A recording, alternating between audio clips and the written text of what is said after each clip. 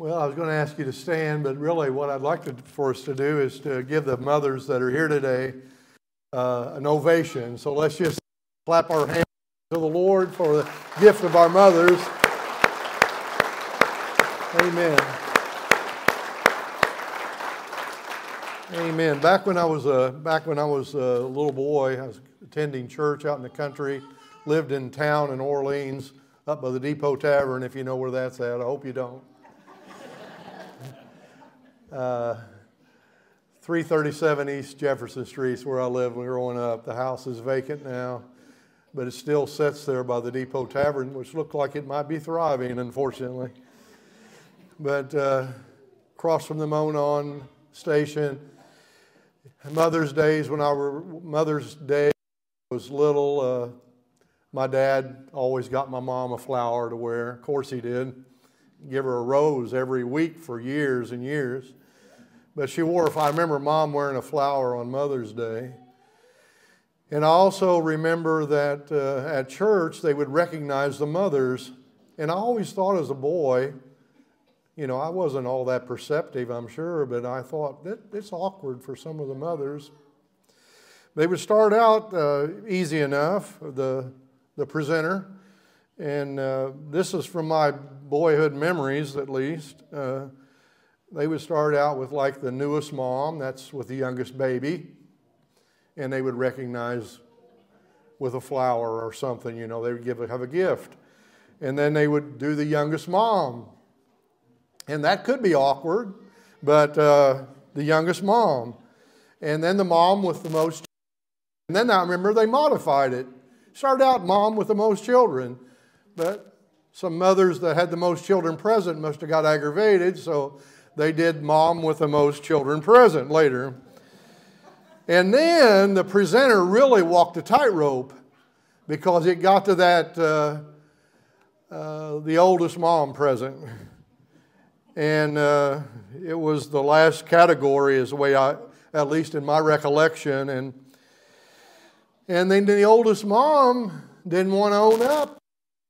Mom and someone was suggested, and then she would say, Well, so and so over there, she's older than, and you know what happened. It was, it was awkward. I don't think you had to have a lot of perception as an 8 to 10 year old to know that that was awkward. And I later ran into that at Crane Village too, because Crystal Hoagland, uh, she would tell me that Ethel Whitecamp was a little older than she was. Uh, but Ethel didn't want anybody to know how old she was, so you couldn't do that at Crane Village. Chris, she didn't care to tell people how old she was. And she really didn't care to tell you how old Ethel was in private. Well, it didn't seem to be a badge of honor any woman wanted, so awkward moment. Well, we have a gift for you today, and uh, uh, see these roses, and it makes me think of my dad because every Saturday he went to the flower shop and got my mom a rose, and we just went through cases and cases of vases at my dad's house, right? They were just boxes and boxes of vases where he had taken her a rose every week. So, uh, Lord's good to us, really is. My granddaughter made it home from college. First time I've seen her since she got home on Friday. I don't know why I missed her, but somehow I haven't seen her yet till this morning. I wanted to tell a little story on her. It's, it's all makeup, it's not the truth. Uh, unlike my family, they lie to me and don't tell me till afterwards. I'm telling you before. Uh, Carly Marie, uh, she asked her mother, Mandy, my daughter, what's it like to have a perfect daughter? And Mandy answered real quickly, I don't know. You'll have to ask your grand, grandma Christy. yeah, you'll get it here in a minute. Ephesians 6 2 says, Honor thy father and mother, which is the first commandment with promise. You know, for me and many others, our moms give us the first glimpse of the heart of God. And uh, I appreciate the fact that I had a mom that, that loved me and she told me so right up until the end that she loved me, and I know she did. I stood at her grave yesterday at her graveside and thought about her a little bit, reminisced a little. and uh, thought about the hope we have, the blessed hope we have of being reunited in God's heaven. Uh, but uh, I just thank God for my mom because she really did. She showed me uh, the heart of God throughout my life, and I'm grateful. And I, I hope that you can feel the same about your mom. And it may or may not be true, but uh, but for me, uh, I have to rise up and bless my mom today. She was an incredible mom. I don't know if you, I, I saw this story. I, I, didn't really fact check it, but I, I was impressed by the story, and uh, I hope it's true. Thomas Edison, they said he once, this was attributed to Thomas Edison. He said, I did not have my mother long, but she cast over me an influence which has lasted all my life. She cast over me an influence that's lasted all my life. The good effects of her early training I can never lose. If it had not been for her appreciation and her faith in me, at a critical time in my experience, I would have never likely have become an inventor. I was always a careless boy, and with a mother of a different mental caliber, I should have turned out badly. But her firmness and sweetness and her goodness were potent powers to give me, to keep me, rather, on the right path. My mother was the making of me. The memory of her will always be a blessing to me. Uh, maybe that's part of your story. That's a loving tribute to a blessed mother, isn't it?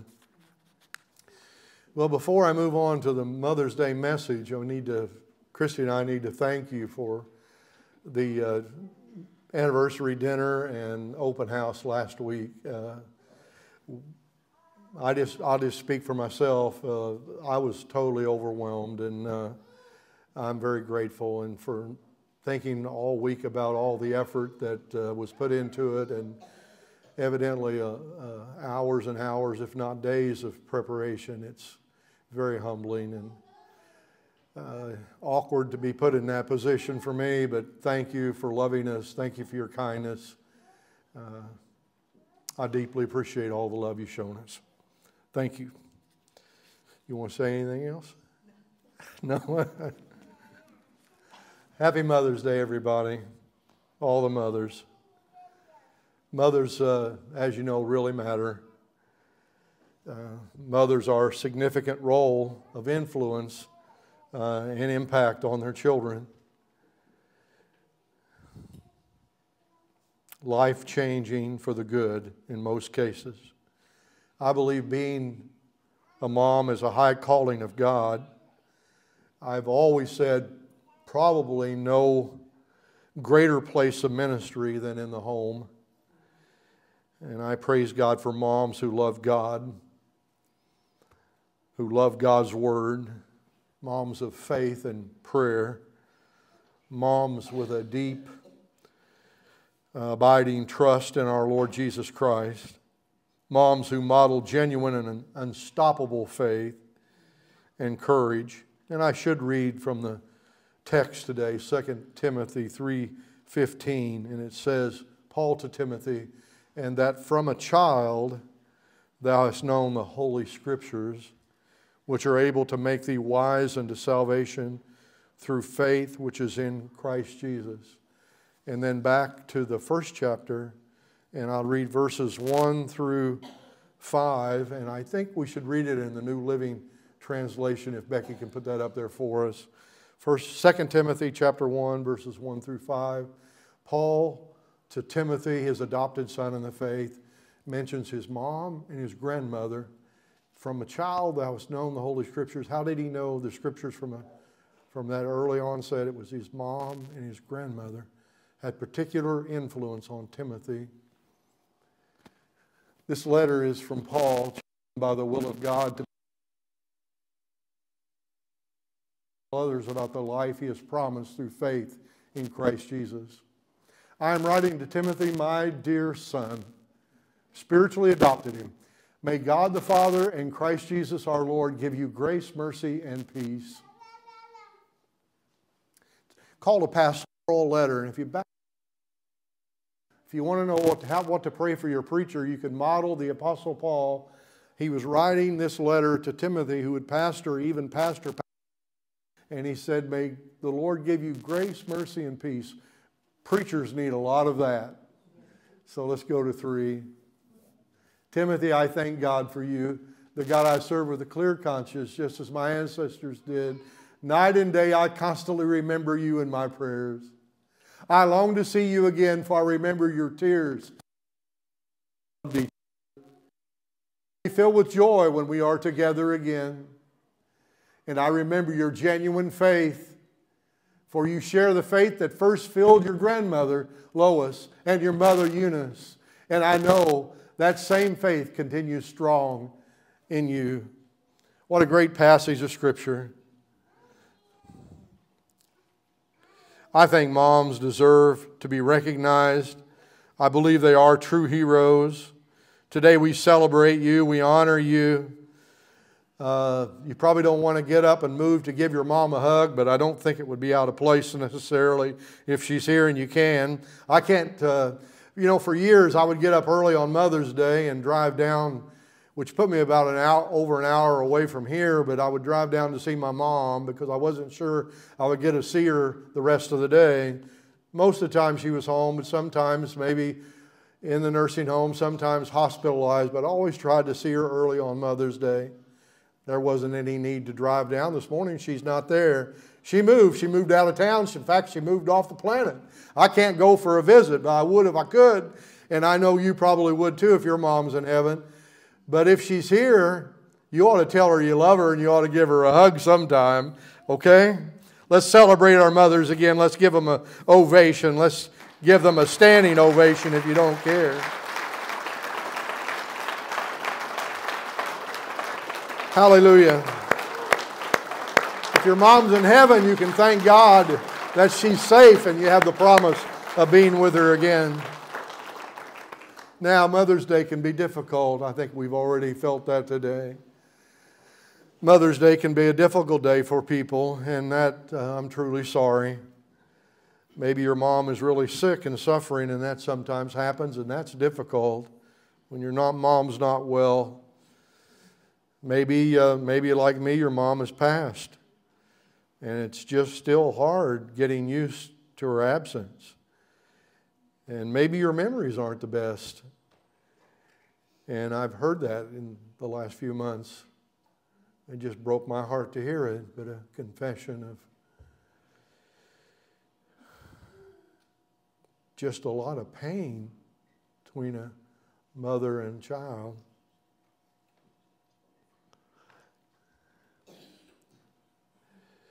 Maybe you've longed to be a mom and you just haven't been able to be a mom, and I'm sorry for your pain. And maybe you've lost a child to death, and I know that's true in our presence here today. That's true, and I know there's been miscarriages, and I, I mourn with you over your loss.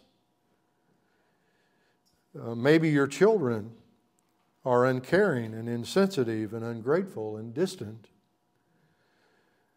I pray that God would comfort your broken heart.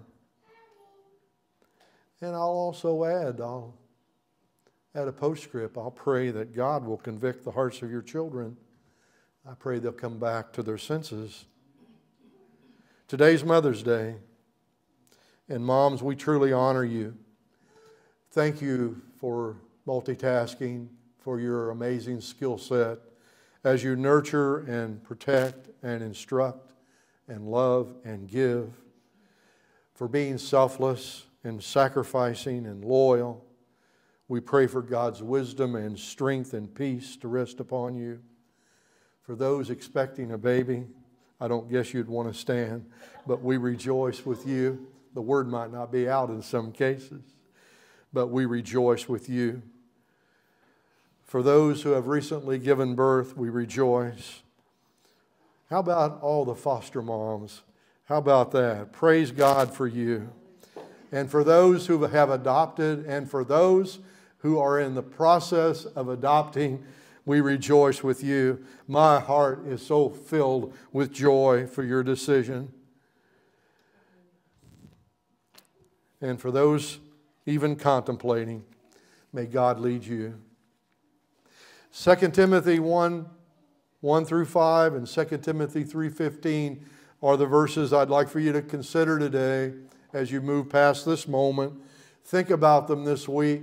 How Paul wrote to Timothy and the things that he said to him, and how he mentioned that his mom and his grandmother had such an amazing impact on his life. Timothy, at some point, was spiritually adopted by the Apostle Paul. I'm not sure if Paul led him to saving faith or not, or if someone else did. But Timothy became a valuable asset to the Apostle Paul and the ministry in establishing churches and seeing to that they were cared for. Uh, but he was first, we know, Paul makes it clear, he was first spiritually influenced by his mom and by his grandma. That, uh, that mom and grandma, they had what the Bible, the King James Version says, unfeigned, unfeigned faith. Uh, probably translated genuine faith. Unfeigned faith. Uh, it means they weren't acting a part. It means hypocritical means playing a role or acting a part, play acting. Their faith was not hypocritical, it was not superficial. It, it, it wasn't just an act, it was nothing fake, nothing phony. It wasn't counterfeit, it was real. Their faith was real, and that's what they were able to pass on to their son and grandson. They passed on their faith, that genuine faith. Legacy, by definition, is anything handed down. Legacy, by definition, is a gift that will benefit or enrich or make better the lives of those who receive it. And the question is what is the next generation inheriting from us? What's being passed down from us to them? What's been passed down from them to us? And what is the chief thing you would like to pass on to your children and your grandchildren? And I know you think about that. What is the most important thing that you would like to pass on to your children and your grandchildren? What's the most valuable treasure? And what will we, just what will be passed on to our kids and our grandkids? And for Timothy's mom and grandma, they gave something eternal. They gave something that will never end. They passed on their faith in the Lord their God. So today, I'd make it a little challenge to all the moms. I hope you will pass on a love for God's Word. The, Paul said, From a child thou hast known the Holy Scriptures. How'd that happen?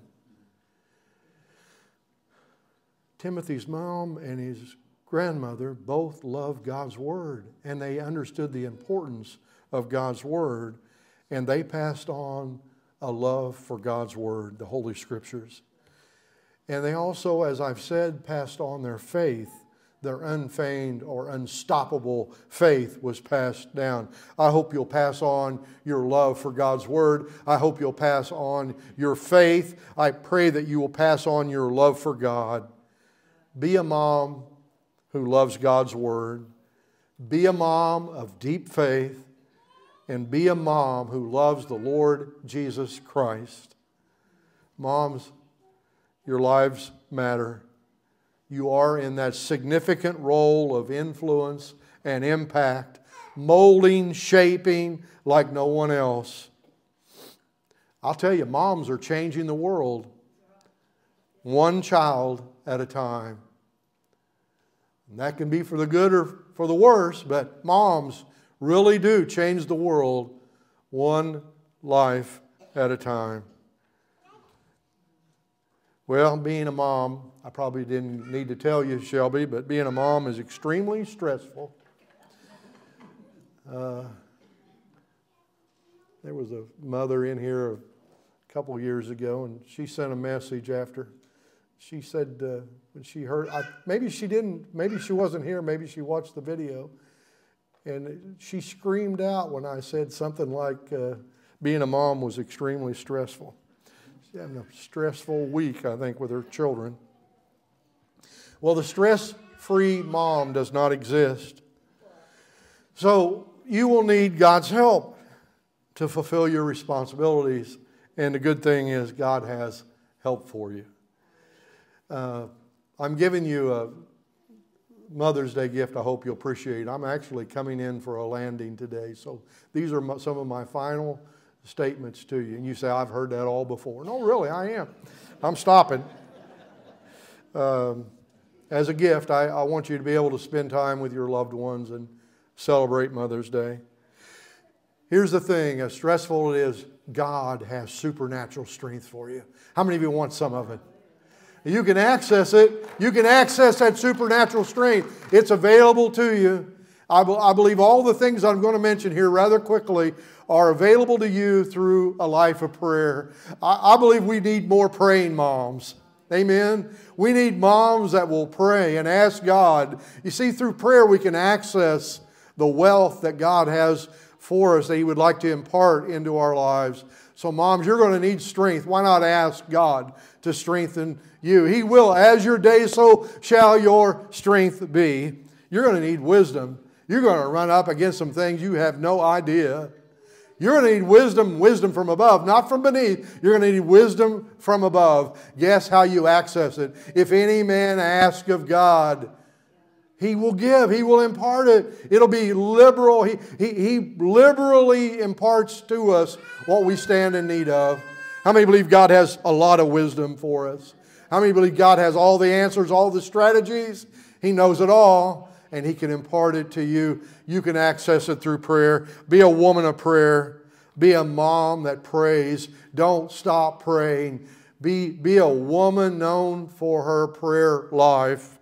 You can get your strength there. You can get wisdom there. Have you ever just had it? Have you ever just had more than enough? You ever needed God's peace to settle on your heart? God has peace for you. Guess where you find it? I think in the secret place.